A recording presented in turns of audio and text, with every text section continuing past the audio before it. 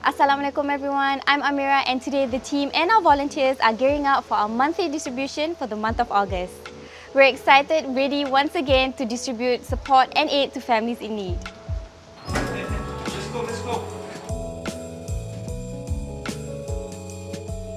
Thanks to your generous support and food hampers sponsored by Food from the Heart, we are providing essentials such as baby essentials and diapers. We are reaching to a total of 52 families and providing more than $6,000 worth of aid across five projects. This includes orphan families, elderly, single mothers and more.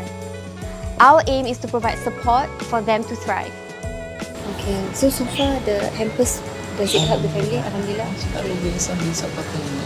And even at that time, when I was in need of wheelchair, these kinds of things, people send it to me. None of this would be possible without the help of our ASEAN community. We extend our deepest gratitude to our donors, volunteers and staff for making today's distribution a success. Alhamdulillah, we have completed our monthly distribution for the month of August.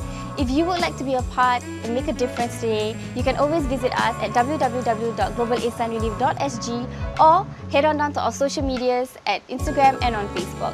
Till then, let's lend a helping hand and help to change the world and I'll see you in the next one. Bye!